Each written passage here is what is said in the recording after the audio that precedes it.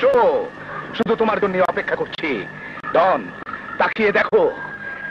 এক কোটি টাকা!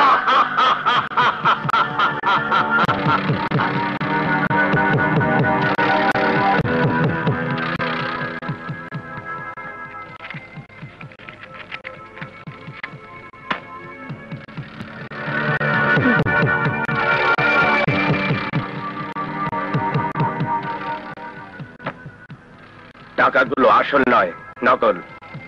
তাই পুড়িয়ে দিলাম। আমাকে মাফ করে দাও। আমার সাথে গাদ্দারি এই নিয়ে যা। ডন তুমি আবারও প্রমাণ করলে ইউ আর গ্রেট তোমার তোমার তুলনা হয় না। হুম বাস। জয়।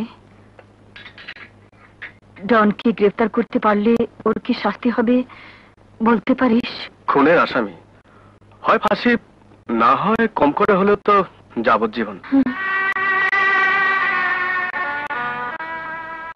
মা তুমি মনে হয় চমকে উঠলে? কই না তো।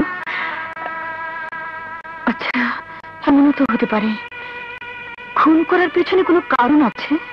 মনে কর ওর বাবা মা খুন হয়েছে। ও তার প্রতিশোধ নিতে খুন করেছে। তবু ওর ফাঁসি হবে। যাবজ্জীবন হবে।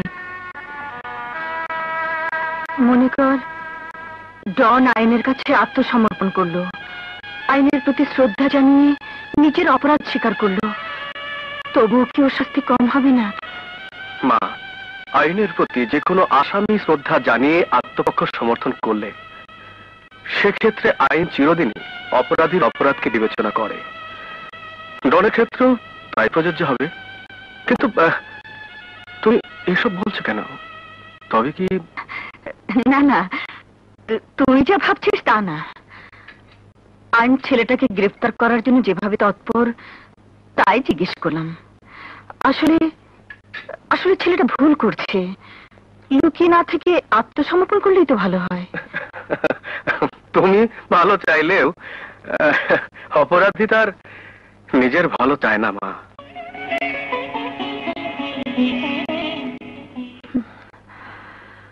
হুম?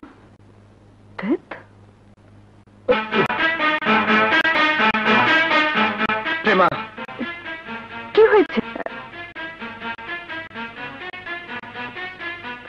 এটা ফেলে দিচ্ছিলে কেন ইয়ে, ঘর পরিষ্কার করছি।